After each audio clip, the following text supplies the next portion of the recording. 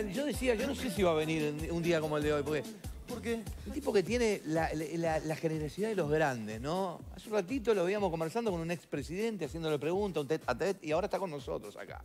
Y si uno tiene que hablando- moverse en todas las canchas. Ahí está, eso es lo que queríamos escuchar. Facu Maki con nosotros. ¿Cómo estás? Bienvenido, Buen día. Facu. ¿Todo bien? ¿Cómo va? Antes que nada, tenemos, tenemos un anuncio con Lu para hacerles a todos porque en tiempos como este queremos tener en nuestras manos el poder de crear, conectar y transformar la forma en que trabajamos o jugamos. Hoy más que nunca, hasta un nivel sin precedentes, los usuarios confían en la tecnología para ayudarlos a mantenerse productivos y al mismo tiempo dedicar tiempo a la diversión creada para potenciar su trabajo y entretenimiento. La serie, C- la serie Galaxy Note 20 está diseñada para este momento. Bueno, atención esto, porque esta belleza, la serie Galaxy Note 20, funciona como una computadora, lo que permite hacer mucho más con la perfecta integración de herramientas líderes en la industria. También ofrece la experiencia de toma de notas más fluida e intuitiva con este lapicito, S Pen, completamente nuevo que anota, eh, te permite hacer notas avanzadas de Samsung. Esta serie además brinda la experiencia de juego móvil más poderosa de Samsung haya diseñado hasta el momento. Contiene herramientas de nivel muy profesional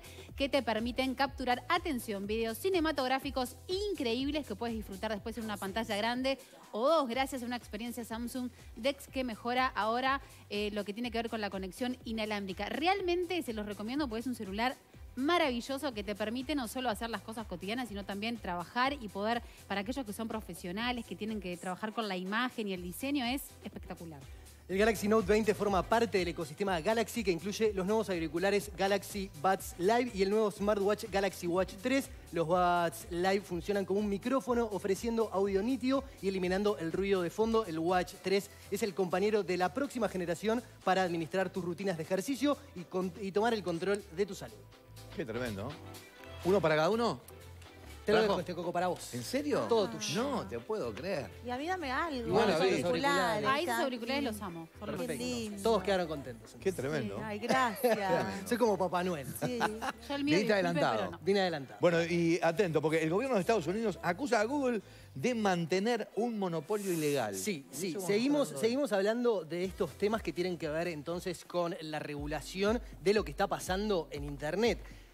Siempre- yo lo digo siempre que, que- que tengo oportunidad, es interesante ver cómo creamos un monstruo los seres humanos y ahora estamos intentando dominarlo, ¿no? Porque vimos que se nos, no- casi que nos está dominando a nosotros y de alguna manera con pasos muy tímidos en algunos países del mundo. Ahora, se está en intentando Estados Unidos contra todo. TikTok, Sí. ¿no? Es como que está como la Es como Estados Unidos y Europa son los países que están más, con- los países no, el Estados Unidos y este, el continente que está más eh, Pendientes. preocupado o pendiente de ver cómo van a poder regular estos temas. Y ahora el- la gran noticia que, que salió en los últimos días está vinculada a Google, precisamente, que luego de un año de investigaciones, el, el gobierno de Estados Unidos lo está demandando por abuso monopólico.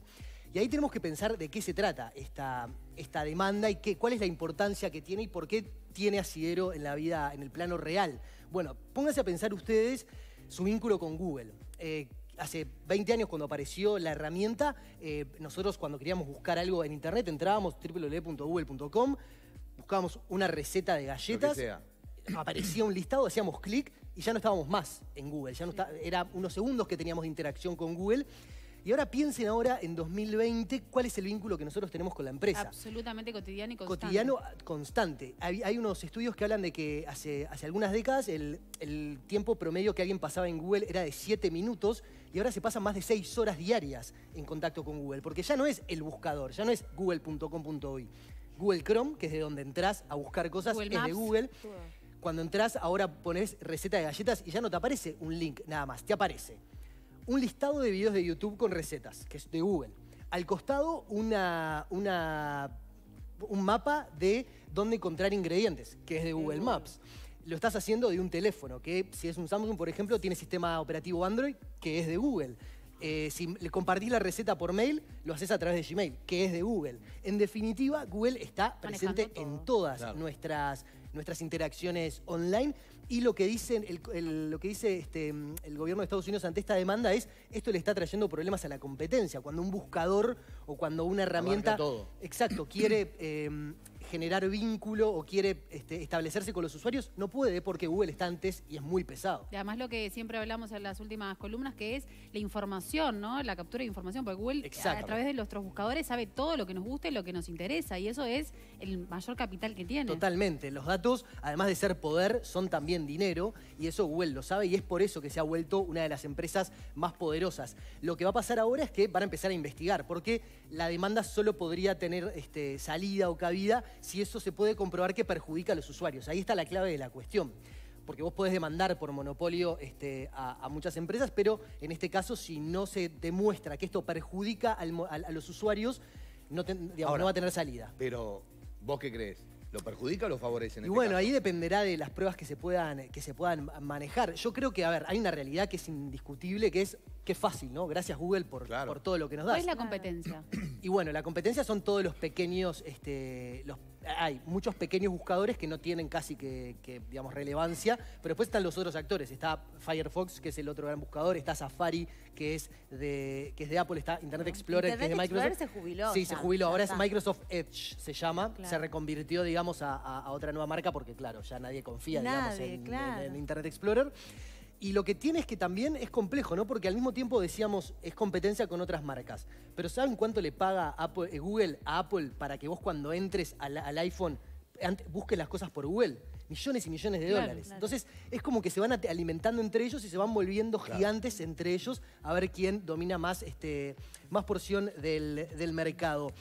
Lo que dijeron el fiscal adjunto del Departamento de Justicia de Estados Unidos lo que señala es que Google es la puerta de entrada a Internet. Y eso es un poco cierto. Uno habla de Internet y enseguida piensa, "Ta, bu- buscar cosas en Google. Y no necesariamente. Internet nació antes que Google y seguramente le, le trascienda a lo que es esta, esta empresa, pero sí Google es de las mayores, este, de los gigantes, de lo que se conoce como gigantes de Internet, que ahora mismo están siendo interpelados. Esta semana se interpeló, por ejemplo, al de Facebook y al de, al de Twitter, porque ahora también está esta cuestión de las redes sociales se transformaron en medios editoriales que pueden decidir quién publica y quién no publica, porque ahora lo que están demandando es que cuando hay mensajes de, mm, de- de extrema derecha o que incitan al odio y demás, eh, las redes sociales los bloquean. Y ahí están saliendo los ultraderechistas a decir, Bueno, ¿quién pero es quién un para poco, decir? ¿en qué momento ustedes tienen la...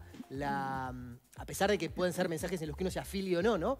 Eh, ¿En qué momento tiene la ustedes... vara de la Exacto, ¿en qué momento ustedes decidieron que lo que yo tengo para decir es más válido que lo que tiene otro para decir? Y bueno, ahí está la discusión también un poco, ¿no? En qué rol tienen las redes sociales como curadores de lo que nosotros vemos y la realidad que consumimos, ¿no? Porque en definitiva lo que pasa a través de nuestros teléfonos es también un filtro de la realidad y, y eso es también lo, lo complejo, la, la capacidad de manipulación que tiene hoy Internet y las redes, y las redes sociales.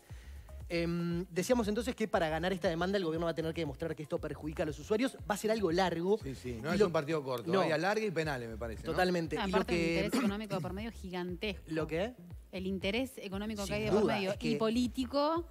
Ahora, con ese tema, tema político, ¿qué pasa con, con esta batalla con respecto a que en días son elecciones Y bueno, es clave. Unidos? Todo esto que está pasando ahora. Digo, porque las redes sociales juegan Sí. un papel fundamental. De hecho, ¿no? las redes sociales, ante diversas acusaciones, eh, aseguran que se están preparando para lo que puede llegar a pasar en las elecciones. Hablan de que pueden llegar a pasar semanas sin conocer los resultados electorales. Y eso podría alterar, considerando cómo está el caldo de cultivo hoy en, en Estados. Unidos. Eh, hay, de verdad temor a desmanes, a, a- a que se corra mucho la desinformación. Lo que dicen ahora las redes es que cuando aparezca un candidato o alguien diciendo esta persona ya ganó antes de que se conozcan los resultados oficiales, esos contenidos sí se van a dar de baja, precisamente para evitar que se generen, este, Claro. Se generen Y conflictos además en va a las dar calles. lugar a mucha noticia falsa. También. Y ahora, ¿cuál, exacto. cuál podría ser la pena de, de este juicio? Si, si resulta desfavorable para Google. Para ¿qué- Google. ¿Es Y bueno, económico o...? Sí, sin duda, primero va a haber una multa, una sanción económica. Eh, No sé cómo se rigen exactamente las leyes de mercado monopólico en Estados Unidos, pero de seguro va a haber una, una- una multa.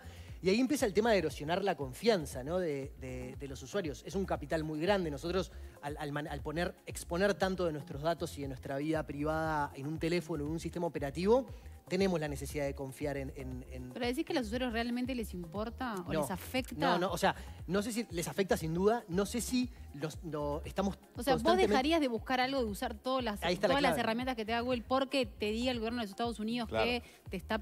Exacto, No la ahí hay un tema, ese es el tema, es que no, no- no es para dejar de, para ganarle a, a, las- a los gigantes de Internet, tenés que desconectarte. Y nadie puede darse el lujo de desconectarse hoy porque nuestra vida laboral, nuestra vida privada, este, pasa toda por, por Internet y por redes sociales. Entonces, para ganarle al sistema habría que abandonarlo y ¿quién de verdad estaría dispuesto a Y hacerlo? aparte Google no le puede decir también al gobierno de los Estados Unidos, bueno, no hay una reglamentación al respecto, nadie me dijo que esto no se podía hacer.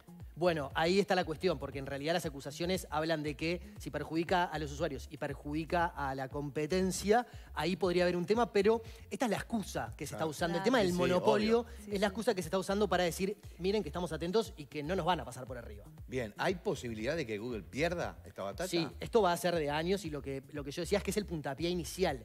Creo que lo que tiene de valor esta demanda al ser tan tan grande es que marca un precedente, que es, a partir de ahora, los gobiernos y los estados nos tienen que dar garantías a los usuarios de que las empresas privadas que controlan la tecnología no están abusando de nuestros datos, no están abusando de su posición y que tenemos algún mecanismo de defensa, porque en definitiva está tan intrus- es tan intrusiva esta tecnología, eh, y hablo a nivel general, que ahí también los estados están viendo a ver de qué manera se, se- los estados que de verdad quieren proteger a sus usuarios, más allá de los conflictos y de los intereses que haya, la, la- la intención genuina, si es que hay alguna intención genuina detrás de esto, No creo.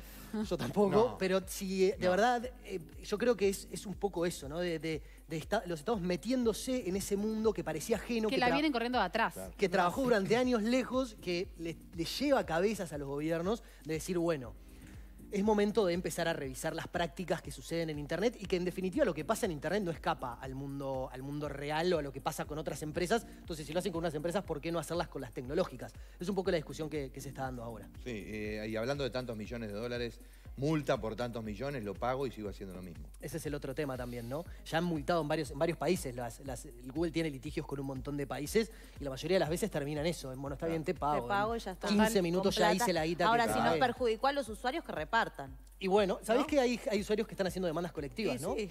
Están haciendo demandas colectivas para cuando sienten que abuso de datos o cosas así, se arman como consorcios de usuarios que le reclaman precisamente a las empresas y alguna ha tenido salida, pero claro, está, es como simbólico, ¿no? sí. Digo, para las empresas son, son de verdad, es el cambio chico. La caja chica es pagar estos juicios. Tal cual. Bueno, la próxima semana cuando te tengamos ya vamos a tener nuevo presidente en Estados Unidos, ¿eh? Porque las elecciones son el martes. A ver qué pasa, a ver cómo juega Bueno, este en tema. una de esas, Coco, porque En una de esas. Sí. No se sabe todavía si los resultados van a poder estar tan, este, al- con mucha gente vota por, por correo. Y viste que Trump está como poniendo muy en duda el voto a distancia claro, y está poniendo en hablando de de fraude. juicio. Sí. Va a, Impecable. ser, va a ser complicado el asunto y seguro que en las redes va- van a pasar cosas. Nos vemos la semana que viene. Dale. Vamos a la pausa. Se va pa' la Ya venimos con más desayuno, dale. en busca de un jangueo. Para allá, allá, donde